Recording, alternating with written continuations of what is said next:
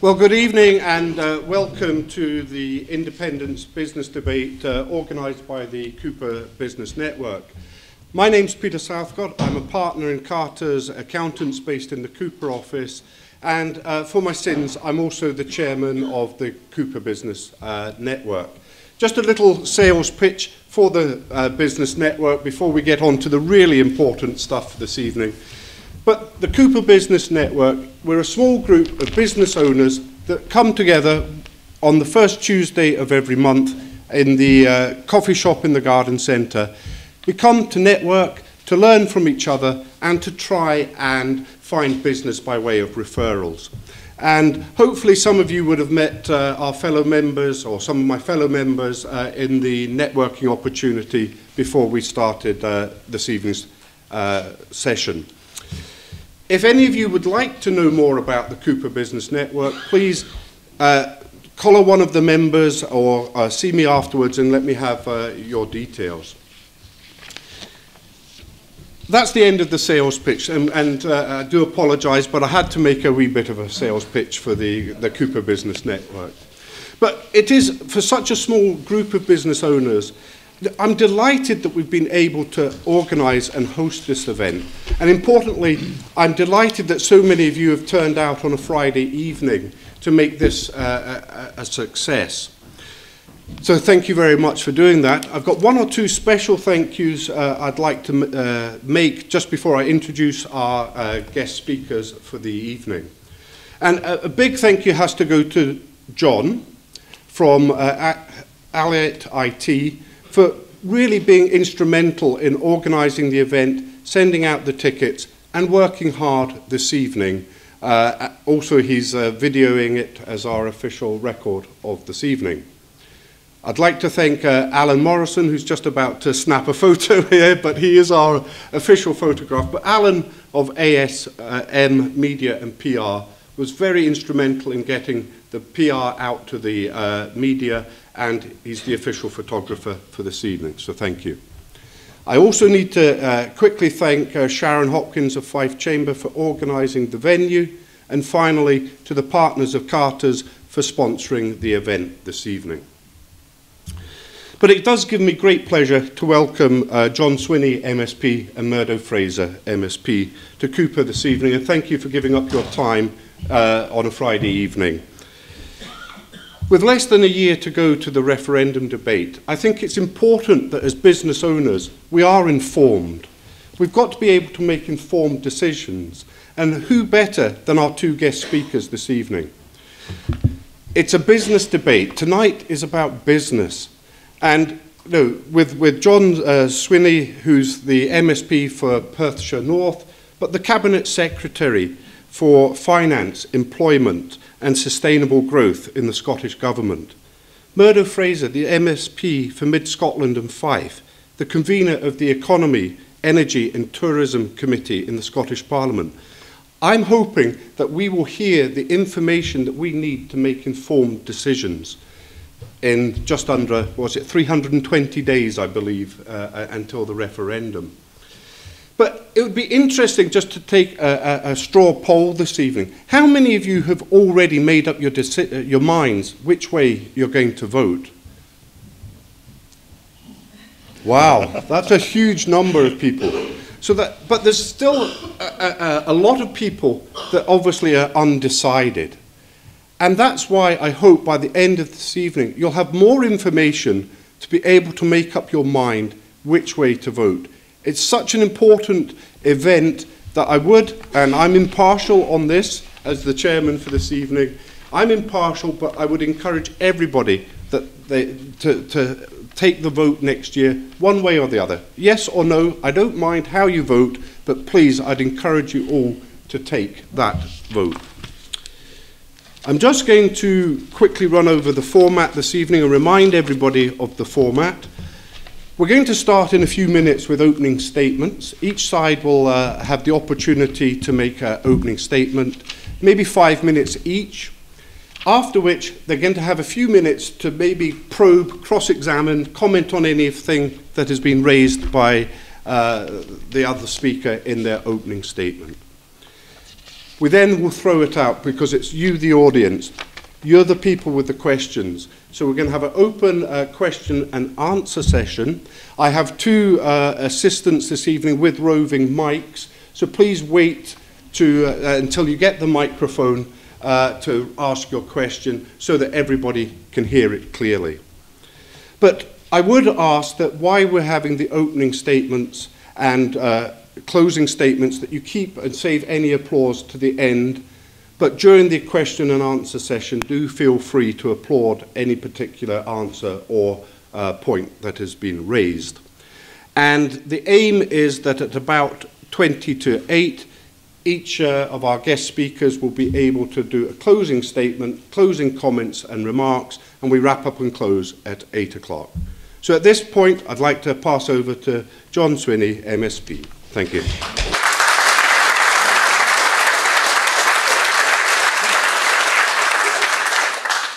Uh, thank you, Peter, very much, and thank you, ladies and gentlemen, for uh, the invitation to come along tonight and for your attendance tonight to take part in what's the most important debate this country has had about its future uh, in the last 300 years.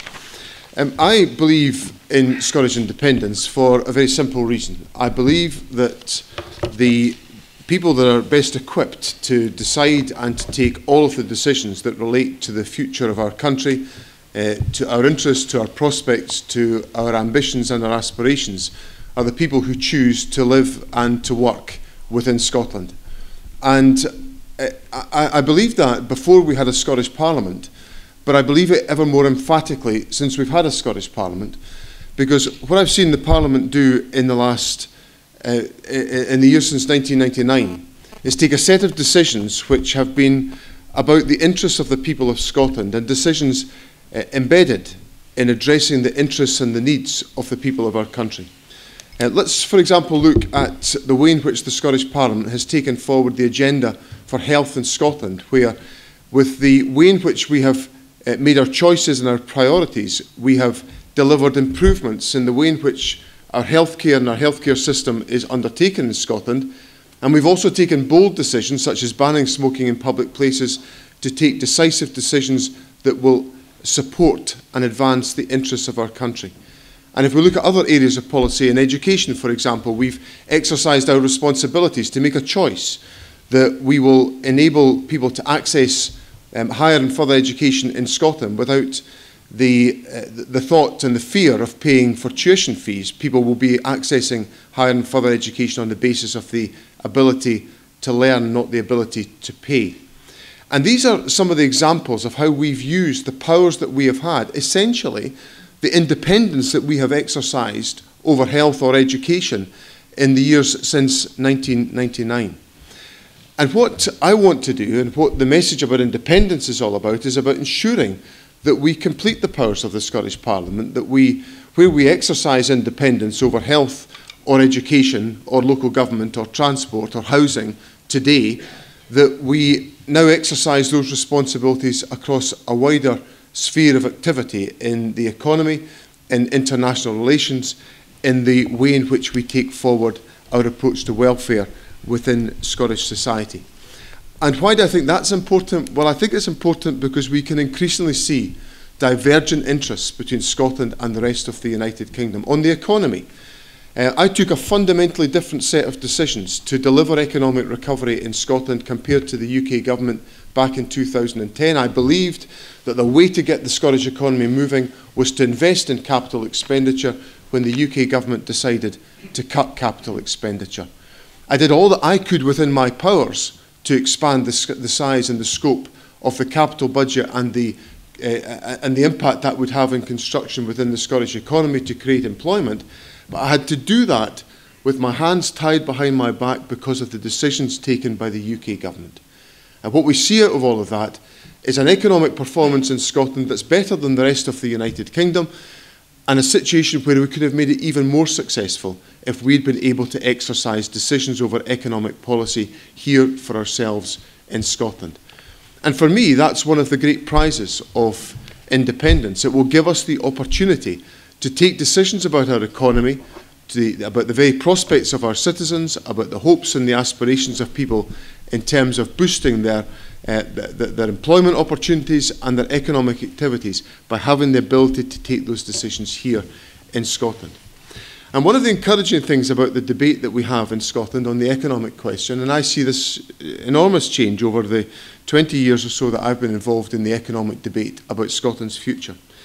20 years ago, people would have doubted, and my opponents would have advanced an argument which would have said that Scotland couldn't afford to be an independent country. And now it is universally accepted, right across the political spectrum, that Scotland can be uh, can afford to be an independent country. Why do we think that? Well, we think that because, why do we all believe that? Because uh, in each of the last 30 years, Scotland has paid uh, more, generated more in tax revenues per head than any other part of the United Kingdom. It's because on the last data we contributed more to the UK than we got back in return. Um, on the basis that Scotland is a strong and effective economic unit able to pay its way in the world. So now that the debate has moved on from whether Scotland could be an independent country, whether we could afford to be an independent country, which is a, a point that's now very broadly accepted in the political debate in Scotland, I think we're now on to the more substantive debate about whether Scotland should be an independent country. And I think Scotland should be an independent country to enable us to take the decisions in Scotland on our economy, just as we've taken them on education or on health or on transport or on housing or on local government in the interests of the people of Scotland and to shape a set of priorities and a set of approaches that meet the needs and the conditions of people that live here in Scotland. That, for me, is the argument why Scotland should be independent, and I look forward to discussing that with you tonight. Thank you very much.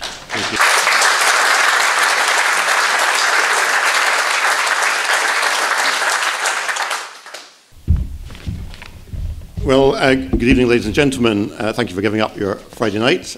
Come along and listen to two politicians having a debate. Um, can I just start off by thanking the Cupar Business Network for arranging this event? Um, we have coming up in, in 10 months' time or so a very important vote. It's probably the most important political question any of us in this room will face in our lifetimes. This is not like a general election where you elect a party of government and then four or five years later if they don't deliver, you can vote them out again and vote somebody else in.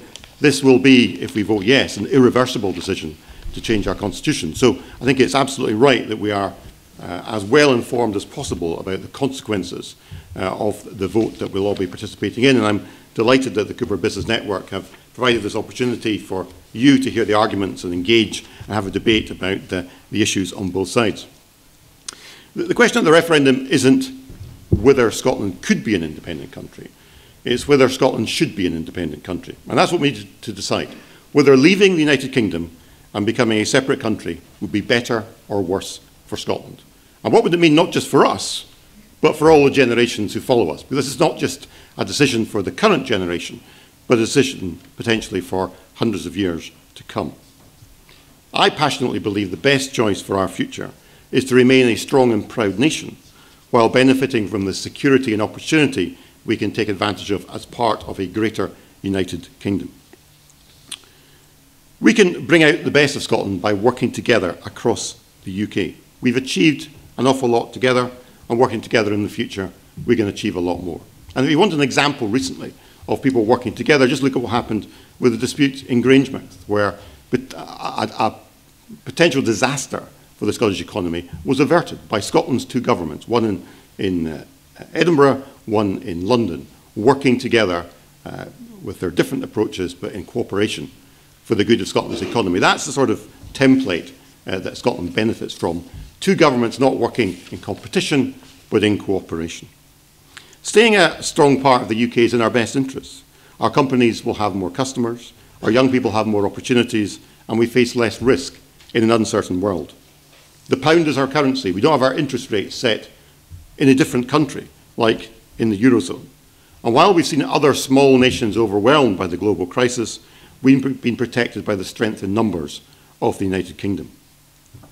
Being part of the UK is good for jobs in Scotland. Scottish companies sell four times as much to the rest of the United Kingdom as they do to the rest of the world combined. Four times as much. And as part of the UK, Scotland, a nation of 5 million people, is part of a home market with more than 10 times that number of customers, 60 million. We have 200,000 Scottish jobs depending on companies which sell pensions and mortgages, where 9 out of 10 of their customers are from the rest of the UK. And staying in the UK makes financial sense for Scotland. We've got public spending that is £1,200 a year higher per head than the rest of the UK. And we don't risk the budget for Scottish schools and hospitals on the volatility of oil prices. The difference between the year when the oil was at its highest and when it was at its lowest would represent the entire budget of the NHS in Scotland. Now, the Yes Scotland campaign will say, and uh, we've heard it from John Swinney tonight, that Scotland's in a relatively better fiscal position than the UK as a whole. But what they don't say is that still leaves us with a £7 billion annual current account deficit, nor that on their own estimates, by 2016 that position will be reversed and will be in a relatively worse position. It's been a hard few years after the last global economic crisis. I think everybody in this room who's involved in business will know that. Things are tough for many people. And the last thing people want when they're struggling is more cost and more upheaval. It's not worth the gamble. If we vote to leave the United Kingdom, we will have just over 500 days before we set up a separate state. That's the period between 18th of September 2014 and April 2016, which is the preferred independence date. 500 days. And in the rush for independence, we have simply too many unanswered questions. What currency would we use? Would our mortgage rates be set in a foreign country? How would benefits and pensions be paid? How much would our national debt be and how would we pay it off? Without the detail on how independence would work, what it would cost us and where the money would come from, voting to leave the UK would be a huge leap in the dark. The best decision for Scotland is to vote for a better future working together with our other partners uh, in the four nations who make up the United Kingdom and saying no to the risk and uncertainty of separation. We've just been through a very difficult economic period. I'm sure you all recognise that. We are starting to see the signs of the economy growing again. That's very positive. But let's not put that at risk. We're better off staying in the United Kingdom. Thank you.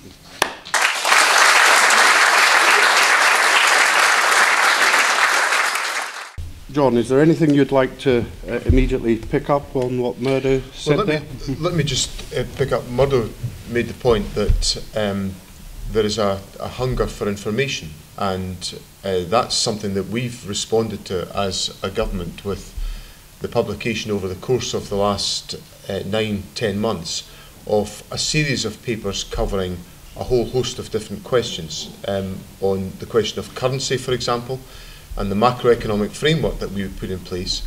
Um, we published information which was not authored by us as a government, but we invited um, four leading international economists, um, led by Crawford Beveridge, the chair of our Council of Economic Advisors, involving um, uh, Professor James Mirrlees, um, a, Nobel laureate, one of the world's leading experts on taxation, Professor Joe Stiglitz, another Nobel laureate, um, who set out in enormous detail, 200 page detail, the macroeconomic framework that they thought could be established and was workable for an independent Scotland. What that was based on uh, was an examination of the different currency options that exist, um, but coming down, as we have accepted as a government, in favour of the maintenance of sterling as the currency of an independent Scotland. So when, when Murdo says, you know, we don't know what currency we'd be using, I'm absolutely emphatic about what currency we'd be using. The proposal of the Scottish Government has been and will be that we use the pound sterling as our currency.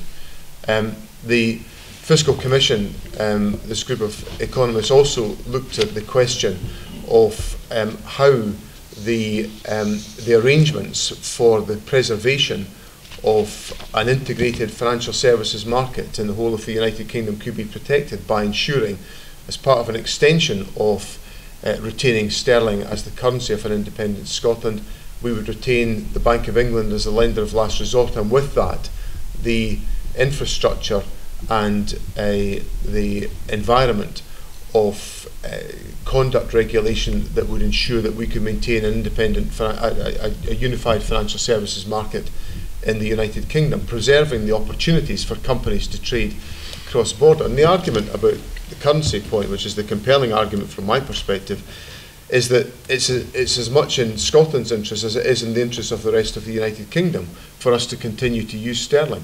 Um, there's as much trade comes uh, north over the border as there is goes south over the border. So maintaining that um, similar currency um, is uh, an essential part uh, of the proposition that we put forward. Now, at the end of November, uh, at the end of this month, uh, the Scottish Government will produce the White Paper on Independence, which will be a comprehensive explanation of many of the issues that are raised in this debate, and it will capture information that we've published so far, uh, detail that we've, we've published and put into the public domain, and I think give people the sense and the depth of the analysis that's been undertaken to formulate this proposition. And of course, that will then be the subject to debate in the period from uh, November through to September in 2014. So, um, yes, I'm all for um, the open production uh, of information, and we put a lot of that information into the public domain. But when we do so, um, on questions like the currency, I think it, you know, it should be accepted that that is our proposition, not that there's some um, some, some, some period of waiting required to find out what our position is. Our position is very clear and very emphatic on, on that and many other questions, and that will be reinforced by the white paper in, in November. Thank you. Murdo, you're... Thank you. I, I'll, just, I'll just pick up on, on the currency issue if I can and, and, and widen it to, to some other things John said. I mean, John's been very clear about his position on, on the currency. Um, of course, Yes Scotland, which is the campaign for independence, doesn't necessarily share that view. Yes, Scotland's chair is Dennis Canavan. Dennis Canavan supports a new Scottish currency, uh, as does the Green Party, as does the Socialist Party who make up Yes Scotland. And of course, if we're going to have a currency union with the rest of the UK, the rest of the UK would have to agree to that currency union would have to assess whether they want to be part of it. One person I certainly never speak for is the Shadow Chancellor, Ed Balls. Um, but uh, thank goodness for that, you might say. Uh, but uh, one thing Ed Balls is on record as saying is if he were Chancellor, he would not want to be part of, uh, Chancellor of the rest of the UK, he would not want to be part of a currency union with Scotland. So I think there is still a, a degree of uncertainty here. But you know, I was very interested in, in, in John's basic proposition is you know, we should be independent so we should take so we can take all the decisions here about our economic future. But if we kept the pound sterling as our currency, we wouldn't be doing that. Because the Bank of England, which should be in London, which should be answerable ultimately to the government of a foreign country, the rest of the UK, would then be setting our interest rates, potentially setting our borrowing and spending limits as a government. It would exercise a fair degree of control over our economy. And the lesson of what's happened in the Eurozone over the last five years has been that you cannot have monetary union without a high degree of political union to underpin it. And if you don't believe that, just go and ask somebody from Greece how much freedom of operation the government of Greece has today uh, while they're tied into the, the euro. And the reality is to have a situation where we're seeking political independence but retaining a monetary union is very difficult to see how that could be uh, a stable uh, arrangement in the long term. The lesson of the Eurozone is monetary union requires much closer political union. So I, I can understand why it's a difficult sell for uh, the Yes campaign to say we want a separate currency in Scotland and all the issues with uh, exchange risk uh, between Sc Scotland and the rest of the UK. But just saying we want to keep the pound sterling doesn't mean it's necessarily going to happen. And it does dilute this idea that we will take all decisions in Scotland ourselves because our interest rates will be set somewhere else. Thank you. Now is an opportunity for, I'm sure many of you are sitting there with burning questions that you would like to, to ask, so uh, I'm going to throw uh, questions out to the floor. Gentleman down here, please wait till you get the, the microphone, please. Thank you. Thank you. I just wanted to ask, uh, yes, we, we, we may not have total control over the currency, but do we have any control over the currency now in Scotland? Because surely the interest rates in London are set for, the, for London and Scotland hardly hardly uh, goes into that equation. So I don't see the difference between London doing it now and London doing it after independence, because that's what happens. What, what's the change?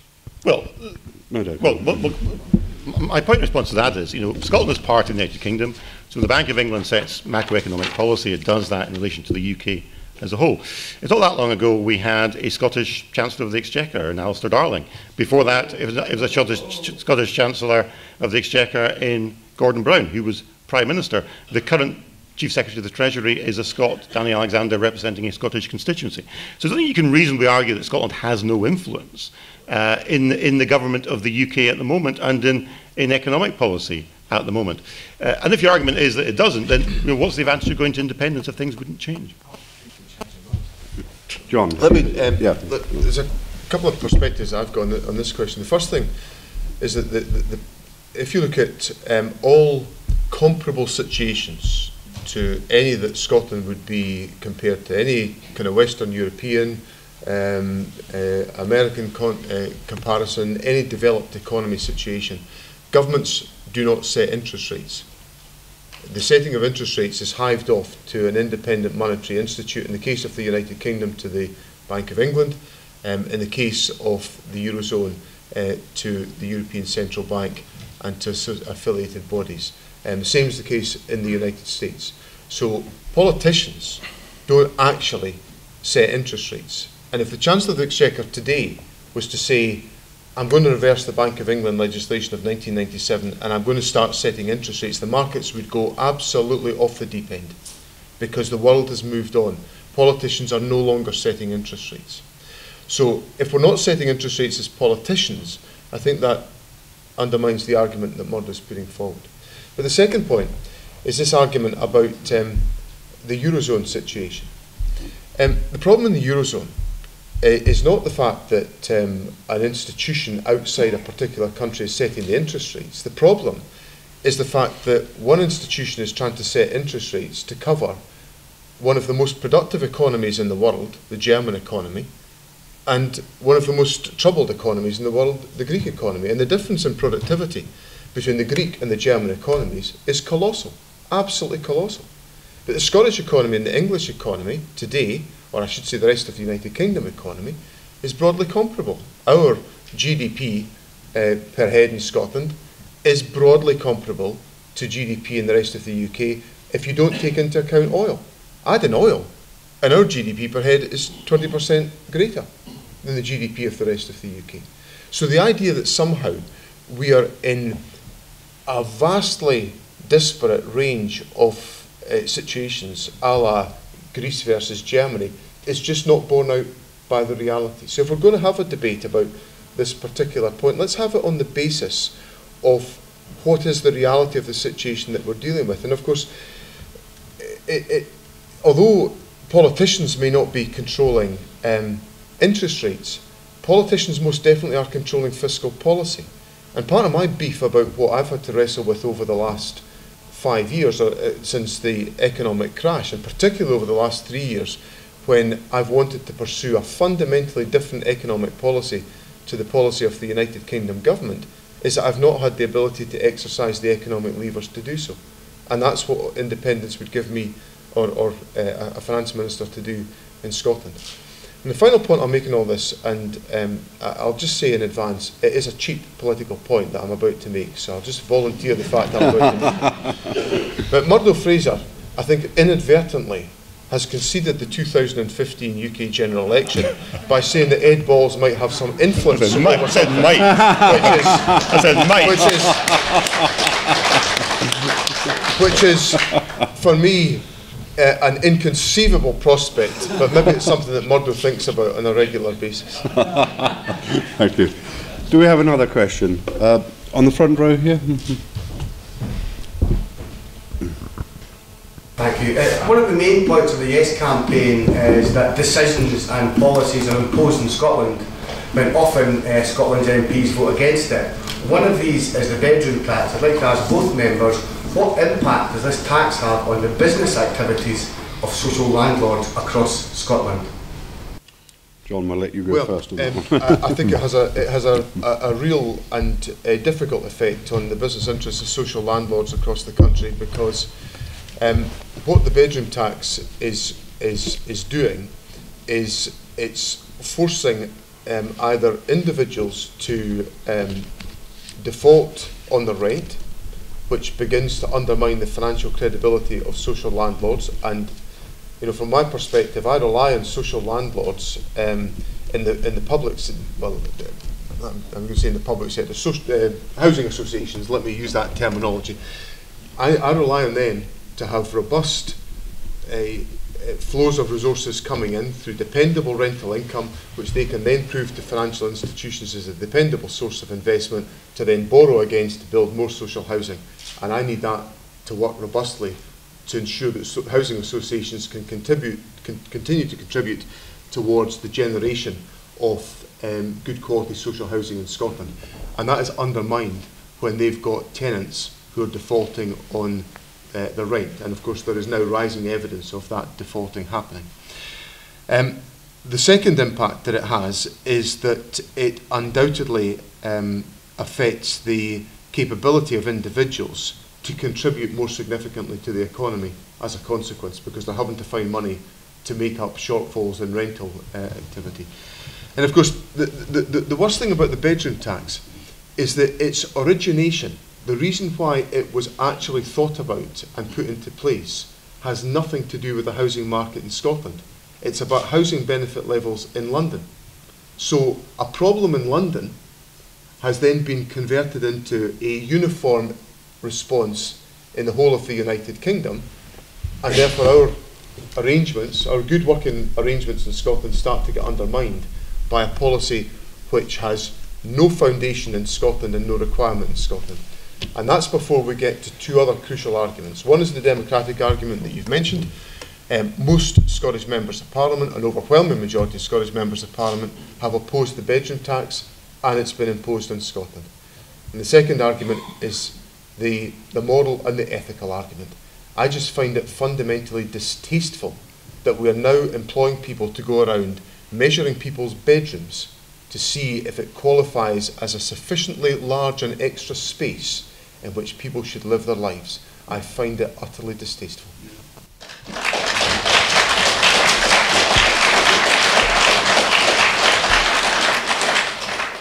The impact of the bedroom tax on social landlords? Uh, well, I mean, the first comment I'd make on that is that the UK government's welfare reform agenda, in its generality, is popular in Scotland. And we have polling evidence that says that. The proposal to make people work for benefits is popular. The proposal to cap benefits is popular.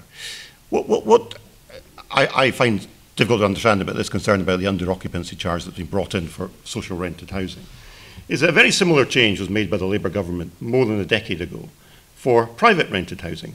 I don't remember any of these complaints being raised at that particular time when exactly the same measure was brought in for private rented housing. Uh, nobody in the House of Commons objected at that time. Nobody who was an SNP member in the House of Commons objected at that particular time to that change being in. And I don't really see why it's all right to have that change brought in in the private rented sector, but not to have it brought in in the social rented sector. I'm not sure there is a difference between the two. No, one social and private. No, no, well, I, no I, I, fundamentally disagree with you on that because a lot of people who are renting in the private sector are in exactly the same social situation as those renting in the socially rented centre. They, they, will be getting their, their uh, rent paid for by housing benefit, but instead will get uh, accommodation from uh, private landlords. So, you know, I, I understand there's a political point being made here about what some people call the bedroom tax, I would call the under occupancy charge. People are making a political point about that. They would be on firmer ground had they been uh, consistent in their view in changes in legislation that happened more than a decade ago. Right, let's move on to a, another question. Uh, wow, lots of people. uh, at the front here, se second row, sorry, at the, at the front. Uh, gentlemen, there's been two um, fairly independent bodies that's passed comment on the independence debate. One is the Glasgow University Centre for Public Policy, and the other is the Institute for Fiscal Studies, who have made some comments between them that they believe that Scotland's finances would be deeper in the red if we left the UK, um, that there would be a net fiscal loss under independence, and Furthermore, that the um, First Minister's plans to cut corporation tax by three pence in the pound is based on strong assumptions and a large dose of guesswork. Are they incorrect? Wow. Uh, well, um, uh, my view is that well, they're entitled to their they're entitled to their view, and I think what certainly what's been the, the, characterisation of what they've said is um, is a uh, somewhat fruity, if I might uh, if I might comment to, to, to that extent. Um, if you look at the the data, um, you know the United Kingdom is running a structural deficit today and has run a structural deficit for many many years. So you know the, the idea that somehow countries living in deficits is something new and it would be the first time it ever happened under an independent Scotland is one enormous big fallacy because we're running a huge deficit at the present moment and the um, comparative financial information that is available which emerges out of the analysis of the Scottish economy undertaken by um, independent statist statisticians um, published annually in the Government Expenditure and Revenue in Scotland report, which is published to a national accounts, uh, a national statistical standard, demonstrates that Scotland is in a comparatively stronger financial position than the rest of the United Kingdom. And if that's not just a, that's a, that, that was the position in 2011-12. If you go back over the past five years, um, Scotland was in a comparatively stronger fiscal position to the rest of the UK uh, to the tune of about 12 billion pounds of revenue. Still in deficit, I concede, but then lots and lots of people, including the United Kingdom, are in deficit. So um, the, the data, um, I think, that's produced by the uh, statisticians under the umbrella of Government Expenditure and Revenue in Scotland, which is the annual approved, respected text um, and analysis, demonstrates that Scotland is in a comparatively stronger financial position than the rest of the UK. On the question of uh, corporation tax, um, you know, we, we, we've, we've used the powers that we've got already as a devolved administration to reduce the costs of business. So when we came into office, um, with I would have to concede the support of the Conservatives in the budget process, we reduced business rates for small companies and for about 89,000 businesses in Scotland now, they either pay no business rates or a very significantly reduced level of business rates. And that was designed as a signal of the direction of policy that we believed to be important in enabling business to retain more of the revenues that it generated to support investment within companies and to enable companies to take the decisions to expand their activities and to support new developments. Um, that's not a, so that's what we were able to do within our existing powers and a signal of our intention. So the, the, the proposition that we advance of reducing corporation tax is, um, is in the, sim, the same vein. It's about trying to enable companies to retain more of the proceeds of their activities and their revenues to enable them to invest for the future. And I don't think it's a, a particularly surprising policy development um, because both Gordon Brown and George Osborne have both reduced corporation tax with exactly the same intention of trying to encourage and to motivate greater business investment in the economy as a consequence of their activities. So, you know, I can't write the reports for the Centre for Public Policy in the regions, and I can't report, write the reports for the Institute for Fiscal Studies, but I do put them into a sense of context about what other commentators and what other actors do uh, in this debate. What I think is interesting about the question is, is that, you know, John represents yes, Scotland, and I represent Better Together. We will come along and we will give you our opinion on what's going to happen if Scotland votes for independence. But this is what we are saying, and you, you quite rightly will sit there and take with a pinch of salt everything we say tonight. What's important in this debate is we get properly independent voices coming forward and giving their opinion, which is why you know, when you get academic research from uh, respected independent institutions coming out, they should be treated very seriously. And I thought both reports that came out this week were very interesting and very instructive. Now, J John's again made the point that you made earlier about the finances of independent Scotland. Now, the, the, the document I have here is, is, is John's own cabinet paper, uh, which was leaked to, to Better Together, which makes it perfectly clear that while the case that John puts out uh, is supported by his own document, by 2016, the year in which we would become an independent country, we would be in a relatively worse fiscal position than the rest of the UK. So, and of course, the, the, the fiscal position the Scotland would be in is very heavily dependent on North Sea oil revenues maintaining their, the levels uh, that they are today, or indeed, indeed increasing. So, uh, you know, I think we need to, to, to listen to these independent voices. Just a point on the, on the business tax. I mean, John's absolutely right. I'm delighted that, that we were able to work with uh, the SNP to cut business rates for small business. Uh, some of the things the Scottish Government have done since then on business rates I don't agree with. I don't agree with the retail levy. Uh, I don't agree with the uh, changes to empty property relief, which is taking more tax out of business. Uh, the forward budget from the Scottish Government proposes to take an extra, I think, 450 million in rates from Scottish business over the next two years. And John says, well, our ambition is to cut corporation tax. But that, of course, is predicated on the SNP being in government in an independent Scotland. If we vote for independence, there will be elections held in, uh, I think, 2016 to elect a new government. The SNP can say we would cut corporation tax if elected. We don't know if they'll be in government. We don't know who will be in government in an independent Scotland. So we can't assume that the proposition put forward for independence by the SNP is necessarily the one that would come into uh, effect in the event that we vote for that. And this is the key point about independence. It's not, a, it's not like a general election. You're not just voting for the party you like to be in government, you're voting for a constitutional change that almost certainly is irreversible. Okay. Uh, Catherine, gentleman at the front here. Yeah. In Scotland, we have an energy policy that's really predicated on uh, having 100% renewable equivalent electricity by 2020.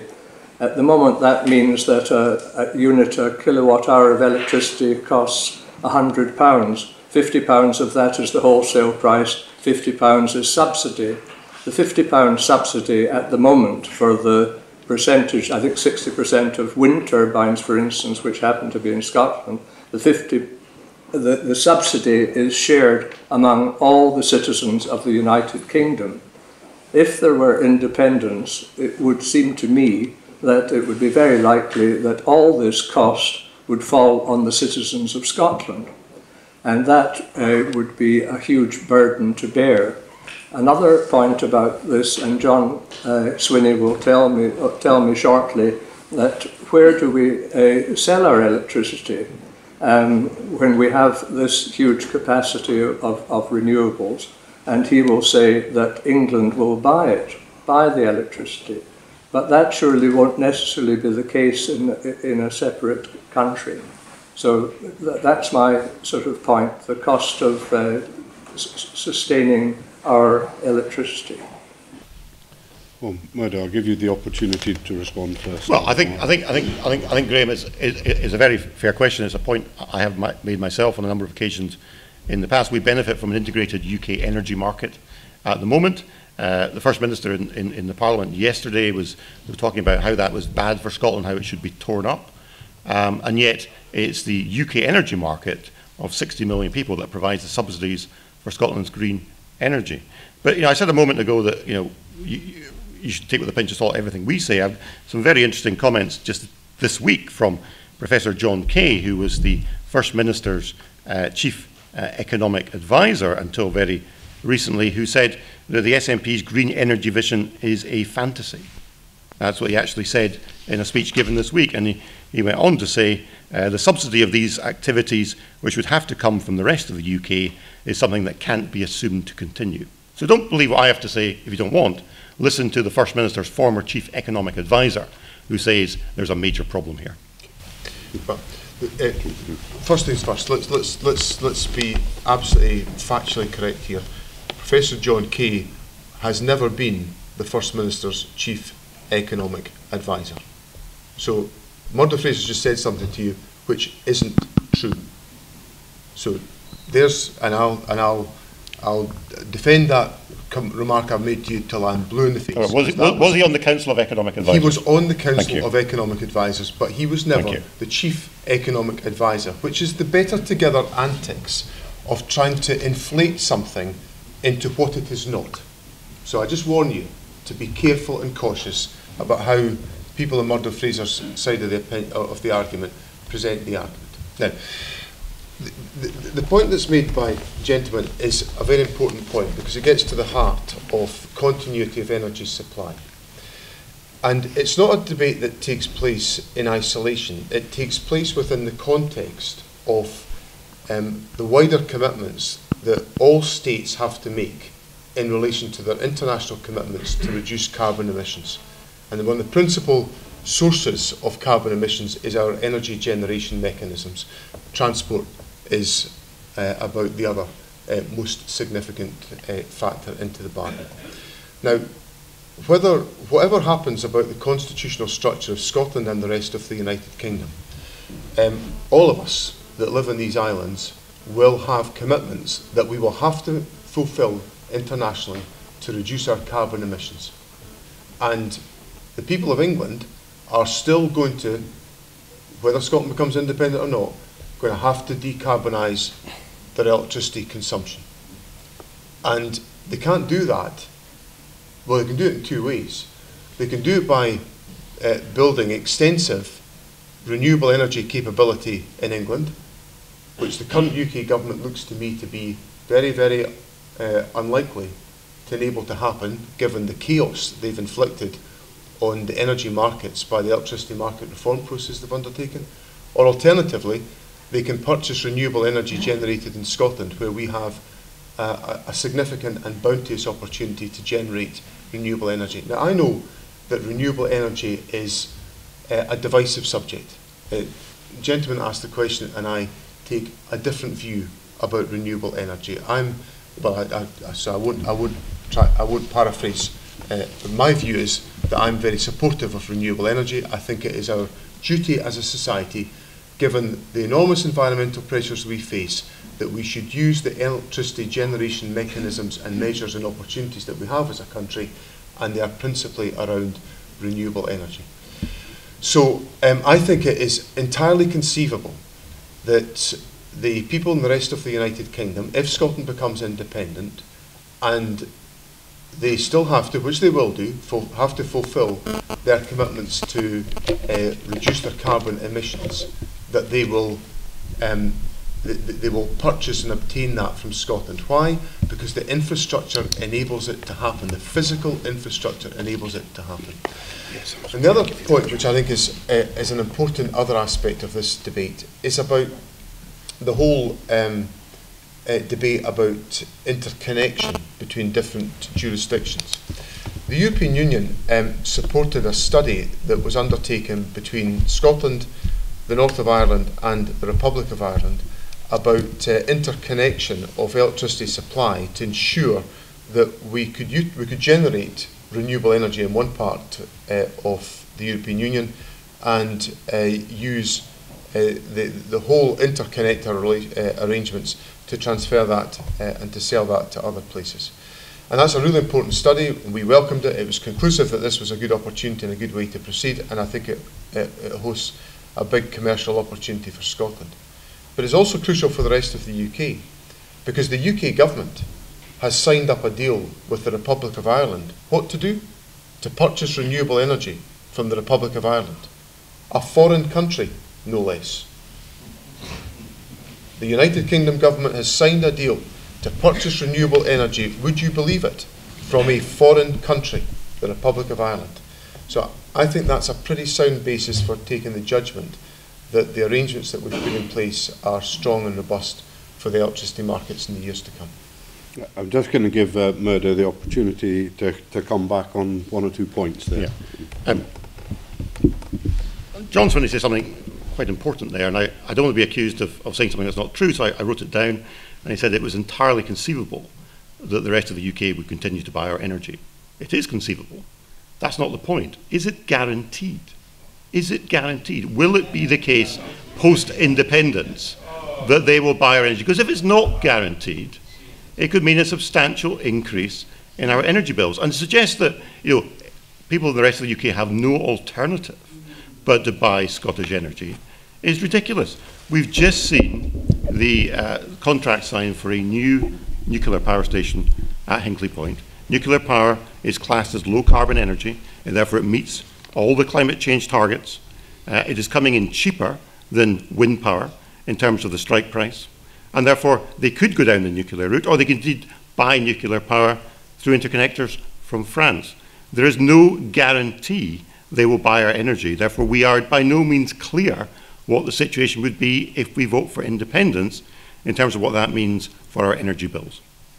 Uh, John, I'll give you the same uh, courtesy to, Yeah. is it further Well, comments I- I you'd like to make? I, Mhm. I, I, I would just gently uh, counsel Murdo against claiming the enormous economic advantage of nuclear technology into this debate because we are essentially uh, the, the level of subsidy that has been put into the nuclear industry to enable the development at Hinkley Point uh, to take its course is of eye-watering proportions. And every analyst I have seen says that the UK government has been taken to the cleaners in the establishment of the strike price that they have taken on in relation to Hinkley Point. So if that is the defence of the alternative strategy, it is a, it is a very thin defence. Is, is a strike price lower than the strike price for Well, wind? It's a, it's a, it's a lower than strike price it's for a wind. catastrophic decision that's been taken.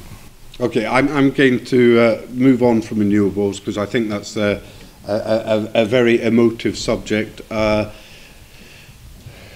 uh, gentleman down here, uh, John, just uh, near you. With, yes.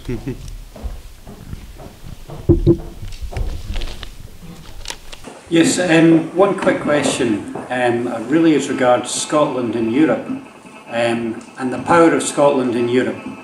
We're going to be a small country in a big conglomeration. What does it actually mean? And will you have the power not to take on the euro? Will you have the power to say no to the euro? And will you have the power to make a difference in big Europe? Well, on, on, the, on the euro, um, there's a whole set of uh, steps that you have to take if you want to join the euro. And the first of them is that uh, a country has to volunteer to join the exchange rate mechanism. And it has to do that for a period of two years and then go on, uh, it starts a process to join the euro. So it's a voluntary decision that a country takes to start off on that route. And we do not intend to take that voluntary step at the beginning because our view, our, uh, our, our position, the position that we, that, that, that- we set out and which is the, the Scottish Government's position, the proposition that will be put to the people of Scotland, is that we should continue to use sterling. Second point on influence in Europe, um, I look at the various countries of Europe, and you know, the countries of Europe are large and small, uh, they're very diverse, um, but every one of those countries has the opportunity to participate in some of the, uh, in all of the decision making that takes place at a European level. And what it's invariably about is about building alliances, building cooperation, working with others, finding shared interests, and pursuing your interests through that uh, mechanism. And um, I watch what um, uh, a variety of small countries are able to do in exercising that influence, and I think it's an example of what Scotland should be capable of doing. And when you get to the position where, you know, the, in the absurd situation that um, uh, a country like Luxembourg, which is a landlocked country, has got the ability to speak at the top table of Europe about an issue like fishing, when our country, Scotland, doesn't have that opportunity to do so. It has to be done through a UK delegation, which often takes decisions and approaches that are not in our interests. It strengthens the case and the need for us to have a direct voice in the European Union. There will be 500 days in the period if we vote yes in September next year to when we become independent to resolve a whole range of issues, one of which will be our position within the EU. And we have absolutely no clarity as to what that position would be. It will be a political decision to be taken because the admission of a new member state, which is what would happen if Scotland votes for independence, it would become a new member state, would require the unanimous agreement of all the other members of the EU. Is it likely they would welcome Scotland as a member? Yes, I think it is. Do we know on what terms they would want Scotland to be a member? Can we assume we would inherit from the current UK all the beneficial terms that we currently have, all the opt-outs we have on currency, on the Schengen free travel area, the budget rebate that the UK currently enjoys? We can't assume that. We have no idea what view the other member states might take. What view would the government of Spain take to the entry of, the UK, uh, of Scotland as an independent state, given its own pressures with the Basque Country and Catalonia? Would it take, would it be welcoming, or would it take a hard line? Would it drive a hard bargain? We simply don't know what the terms would be of Scotland's EU membership. Therefore, it is far too early to talk about the influence we might have because we don't know the terms in which we could join if we joined at all. Okay. Not, not to you will influence out Europe, your, your, your, your government. No, well, what the, what, what, the, what the UK government has said is, is, is that if, if the Conservative Party wins the, the general election of 2015, there will, be, there will be a renegotiation of terms. It's very interesting to see, you know, every time David Cameron goes to Europe these days, how welcomed he is by Angela Merkel in Germany, because she sees Britain as a key ally in terms of the reforms in Europe uh, that she wants to see happen. So we'll have, we'll have, if we are successful, an in-out referendum on the EU at that point, and people will then have their say. As a Democrat, I think giving people their say is a good thing. I think I think th there's a. I, I'm very interested in this question because I, I, I, you know, I have an emphatic view that Scotland should be a member of the European Union. Um, I, I served in the House of Commons for four years, from 1997 to 2001, and I sat and listened to many people who are still in the House of Commons, and they would have had us out of the House of, they would have had us out of the European Union tomorrow. And they're still there. And they're determined to get us out of the European Union. And that is the mood within a large proportion of the Conservative Party in the House of Commons. And it will become ever more shrill the more the political threat of UKIP presents itself to the re-election of the Conservative Party. And it's interesting in the debate, I, I obviously have a, a, a, a deep and intense association with the needs of the business community in Scotland. It is my job to make sure that's the case on behalf of the Scottish Government. And in amongst all the kind of talk that we have about uncertainty created around the independence referendum, the uncertainty the business community in Scotland is talking to me about is the implications of an in-out referendum in the United Kingdom as argued for by the Conservative Party. And it's pr causing profound difficulties for businesses that are involved in international business activity. Uh, Sharon, gentleman right at the back there. Um, Murdo, your initial uh, speech was the usual better together, uh, doom laden stuff.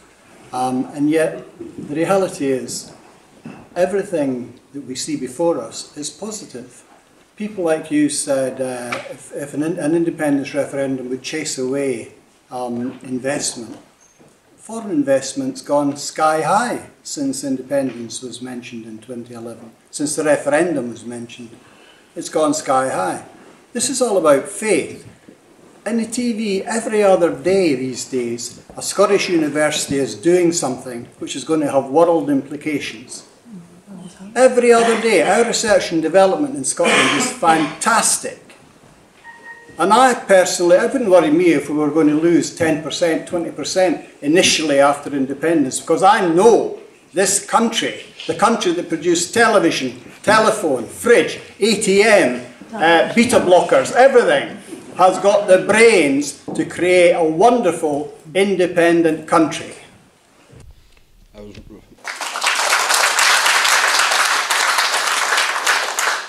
Not so much of a question, I think. I know, more of a statement. But let me let me but, let me uh, yes, let me let me give you a, a response. Far far from being doom laden, I think Scotland has a very positive future, continuing in the partnership of four nations that make up the United Kingdom.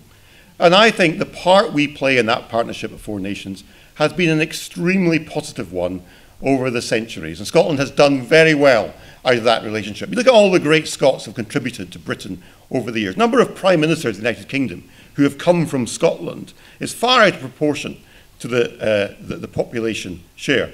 Uh, and, and, the contribution that Scots have played to, to industry and to the professions and commerce as part of the United Kingdom. I'm not doom laden. I'm, I'm entirely content being Scottish and British, and I'm proud of both. Now, clearly, sir, you are a nationalist. and I respect the nationalist view. I just don't happen to agree with it. I think we're better off as part of, the, of, of the United Kingdom. And you know, it's not far from being doom laden. You know, I, I think you know one of the things that makes me smile in this debate is, is, is when we hear, "Oh, better together," just being negative. Yes. The most well, thank you. You just confirmed my point, sir. Um, you know, the most negative thing I hear in this debate are people who are nationalists continually talking down the United Kingdom and telling us how dreadful the United Kingdom is. I don't think the United Kingdom is, is dreadful at all. I think we've done great things as a partnership of nations, and I look forward to us being able to renew that partnership together. Now, you raised a very specific point, which is interesting about universities. At the moment, with a population share of about 8.5%, Scottish, University win, Scottish universities win research grants from the UK Research Councils of around, I think, 15% of the total. So we punch far above our weight in terms of that money coming from UK Research Councils. The UK Research Councils are not going to exist on a UK-wide basis in the event that Scotland votes for independence. The people in the rest of the UK are not going to be happy seeing their taxes going out of Scotland, going out of the rest of the UK rather, into Scotland, into a foreign country to fund research at Scottish universities. That's what you are putting at risk by fighting the case of independence.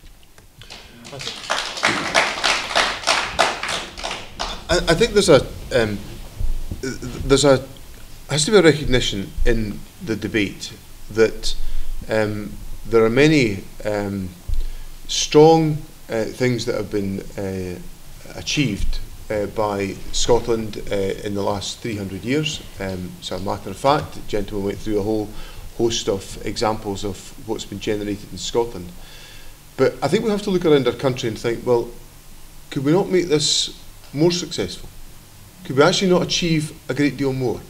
Is it not possible for us to imagine a situation where we might be able to equal other countries of the similar kind of size and character as Scotland in delivering levels of economic growth uh, on a constant basis? If we did that, we'd be able to start to eat into some of the fundamental inequalities that exist in our society, which we talked about a second ago in relation to the bedroom tax. The things that um, that trouble me, I, I saw a constituent this morning um, uh, wrestling with the issues of the bedroom tax and the horror that that's inflicting on their lives. And, that, and, and to me, that's about well, what type of country are we going to be and how are we going to generate the wealth to make us able to address these issues and these perspectives. And that's, for, me, what the debate is about. Can't we wrestle with how can we make our country more successful? And my fundamental point, as I said out to you at the outset, is that where we've got power in Scotland, where we've been able to exercise that, I think by and large, people believe that we've made a good job of it, that we've actually used those powers wisely. And why should we think somehow, if we got more powers, the full range of powers, we would do anything other than exercise those powers to make the country a success. And that's what the debate should be about.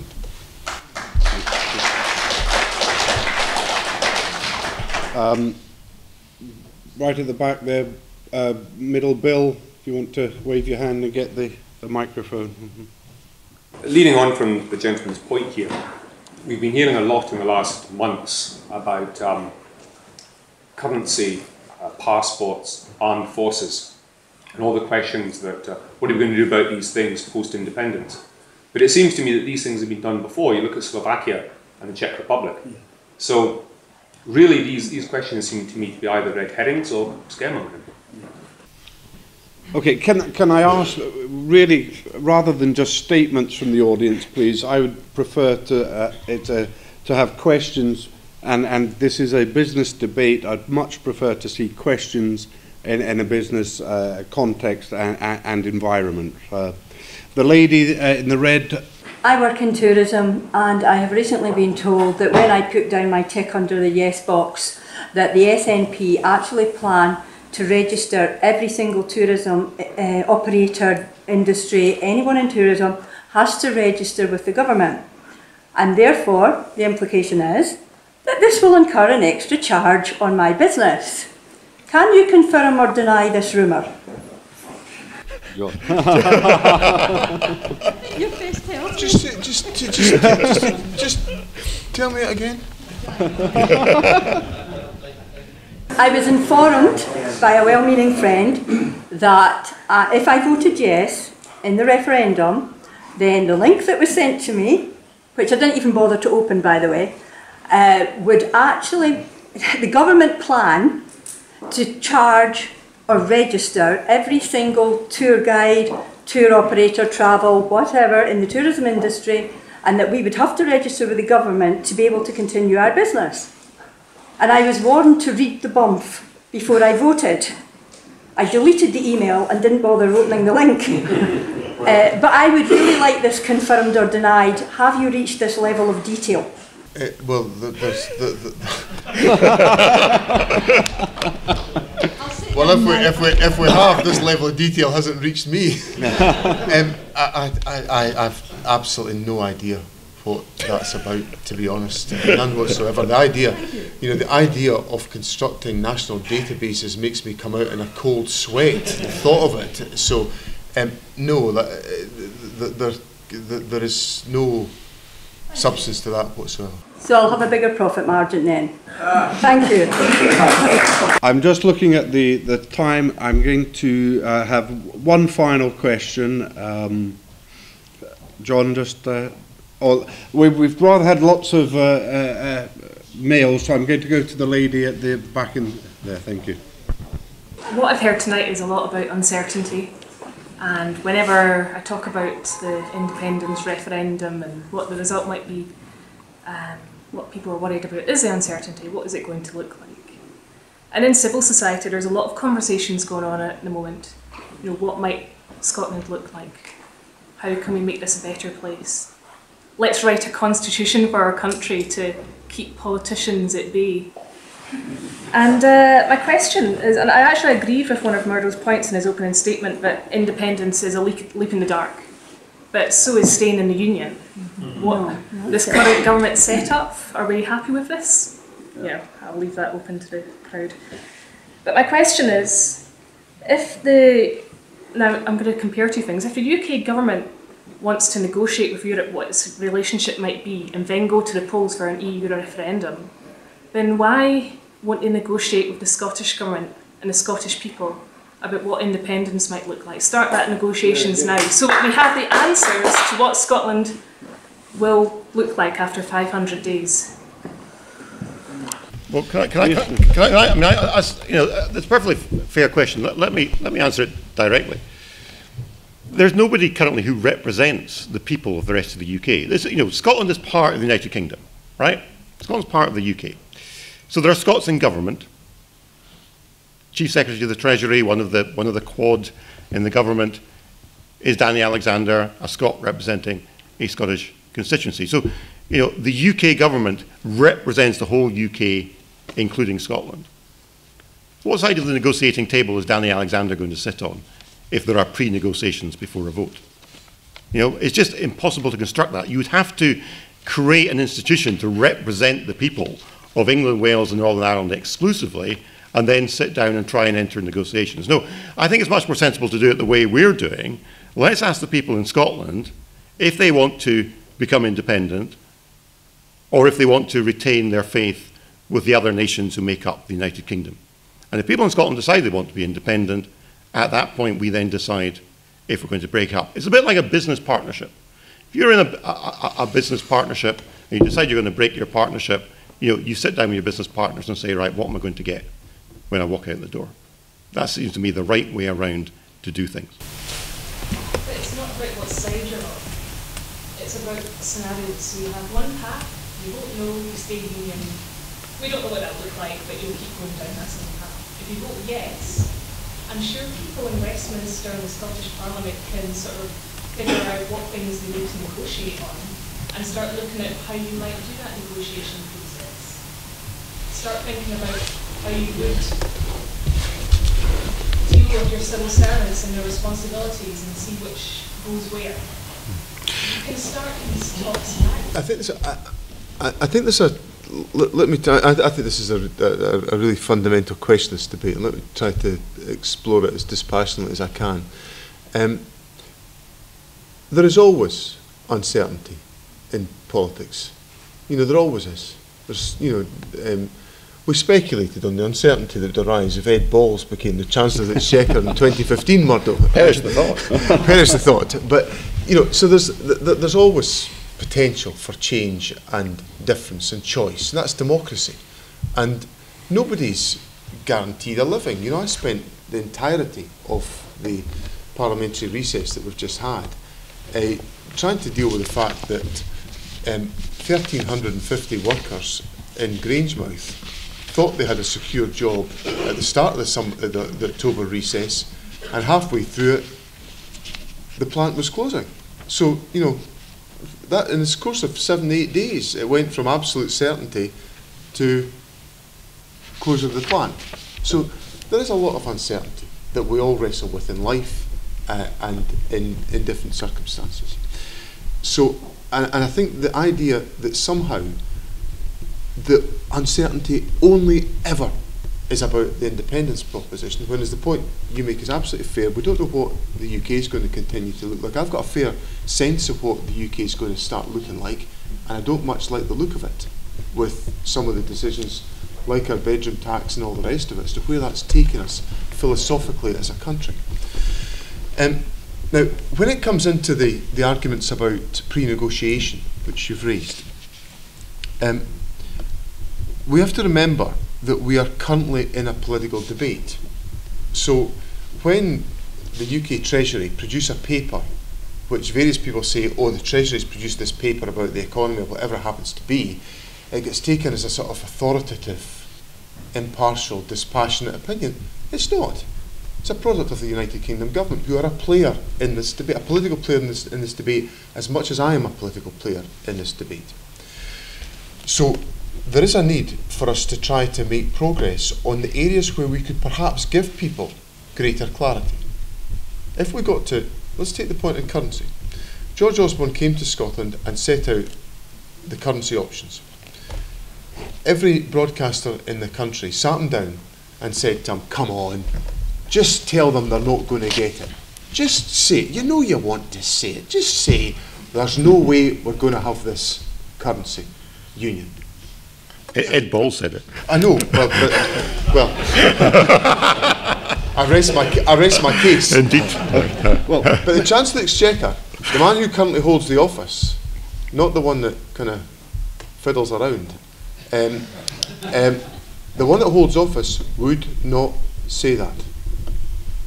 Why? Because I think, in all reality, if Scotland votes yes, it makes sense for the rest of the UK to agree to a currency. Um, now, if you, what I cite also as my as my kind of assistance here is the talk around about the arrangements for the referendum. The Prime Minister went on television in January 2012 and threw down the gauntlet to us that we were going to, you know, fiddle the referendum, we were going to be, you know, bending the rules, uh, he would have nothing to do with it and all the rest of it. By October of 2012, he was sitting in the First Minister's office in St Andrew's House signing the Edinburgh Agreement, an agreement between the Scottish and United Kingdom governments about all of the details about the referendum. So you no longer hear anything of debate about the rules and arrangements about the referendum because it's all been arrived at by mutual agreement. We're completely happy. As far as I know, the UK government's completely happy. That's the type of, I think the process would be helped if we had a bit more of that and a bit less of, you know, it's all going to be so much more difficult than we all, in our instincts, in our common sense, know it's actually going to be. Okay, thank you. I, I apologise, there's plenty more questions out there, uh, and uh, I'm sure there's going to be opportunities uh, throughout the, the rest of 2013 into 2014 to learn a lot more. What I am going to do now is ask Murdo to just deliver a, a closing statement. Ladies and gentlemen, it's been a very good debate. I've enjoyed hearing your questions and I've enjoyed the level of discussion. It's also been, I think, a very, a very good natured debate and, and we've had a, a, a, a decent level of conversation. I hope we'll have many more of these over the 10 months as we face this very important question. I'm somebody who's very comfortable being part of the UK. I'm very comfortable being British. I believe in the partnership of nations, the four nations that make up Great Britain. I think we've done great things in the world over the past 300 years. I understand there are people who don't think like I do. There are people who are nationalists, who take a different view, think Scotland should be independent. I don't agree with them, but I respect their different view. But I haven't heard any compelling case from a business perspective why Scotland would be better off as an independent country. One thing we haven't talked about much tonight is what would happen to trade if Scotland became independent. There is something known as the border effect, where if you create two independent countries out of what was a country before, the level of trade between the two drops off over time. We saw that when Czechoslovakia uh, broke up, uh, probably the best, most recent example, where the level of trade falls off. What about separate regulation for things like financial services in different parts of the UK? We touched a bit on things like currency. We touched on the issue of the, the customer base. For most Scottish businesses, the, the export market, the largest export market by far, is the rest of the UK. And what would it mean for these customers if Scotland were uh, an independent country? Scotland benefits from the safety and security of the bigger UK economy. We didn't get around tonight to talking about RBS in the news today or the, the banking crisis of, uh, of five or six years ago when it was the resources of the UK Treasury that came and bailed out Scotland's two biggest companies, RBS and HBOS. Uh, and we're able to do that because the strength of the UK economy and the UK Treasury stood behind them, which might not have been the case had we been an independent country. So I think when it comes to the business case, there are a whole range of issues still unresolved. We don't know what the economics of an independent Scotland would be, what the finances of an independent Scotland would be. We're asked to make, as somebody said in the audience, you know, a leap, a leap of faith. But to me, in some ways, these, these issues are, are less important than the more fundamental point, which is I believe in our partnership of nations. I believe we should be working with our neighbours. I don't want to see people in England, Wales and Northern Ireland, many of whom are my friends and my relatives, as citizens of a foreign country. There are hundreds of thousands of people from England, Wales and Northern Ireland who live and work in Scotland, and there are hundreds of thousands of Scots living in England, Wales and Northern Ireland earning a living there. I don't want them to see them to be citizens of a foreign country. We've done a lot together in the past, working together as a partnership. We can do a lot more in the future, working together as a partnership. That's why I think we're better together. Thank you.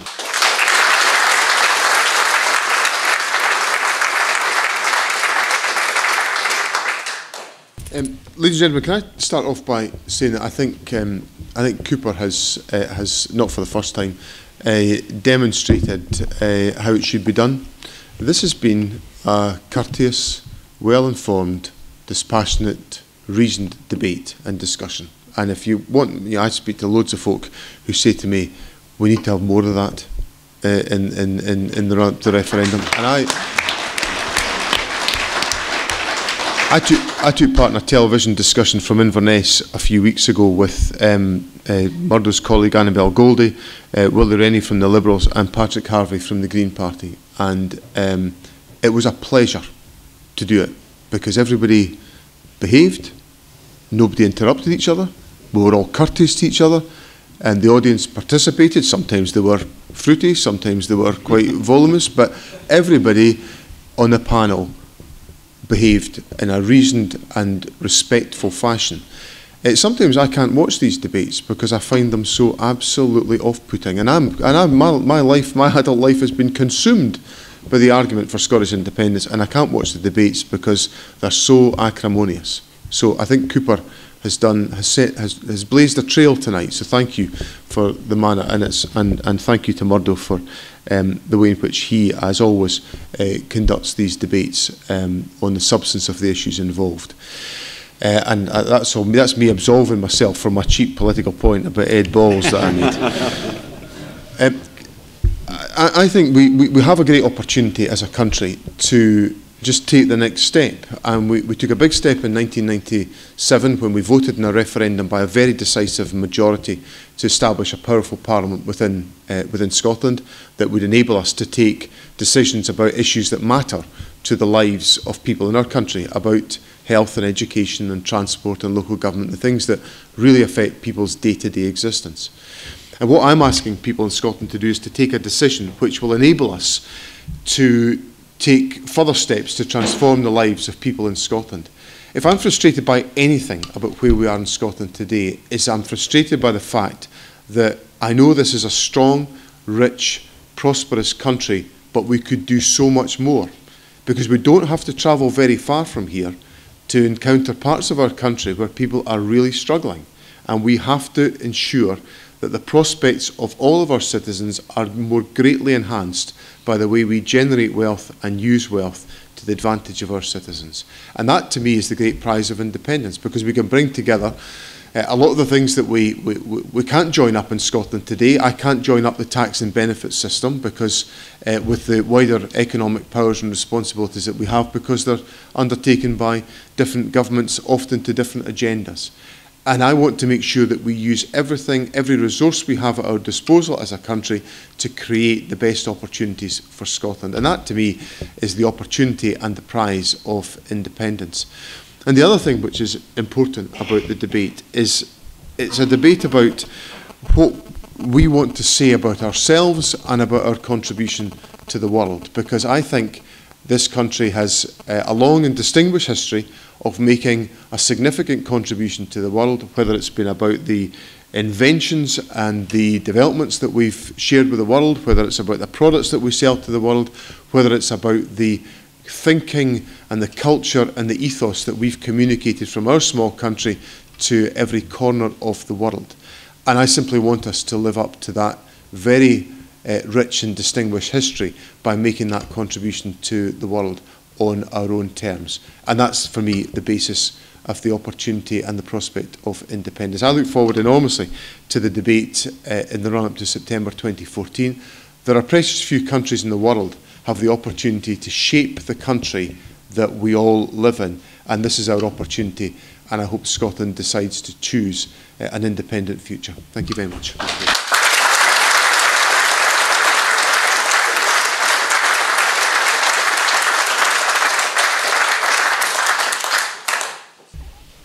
I've thoroughly enjoyed myself this evening, actually, sitting here. I didn't really want to do this job this evening. It was, uh, but I've enjoyed sitting here and listening and having, sorry, the microphone, I, do apologise. I've enjoyed sitting here listening and having the time to sit back and think about such an important decision. And I hope you've all uh, gained something from coming along this evening. The objective tonight was to learn more, to be better informed. I think there's still a lot of questions. There's a lot of answers out there. There's more information that we probably do need to be able to make a decision. But I'd like you just to, for a moment, just uh, uh, join me to thank Murdo, to thank John for coming along to Cooper on a Friday evening and giving us a very balanced and, uh, uh, uh, as John said, a, a very civilized uh, chance to debate what is going to be such an important decision for Scotland. So would you join me?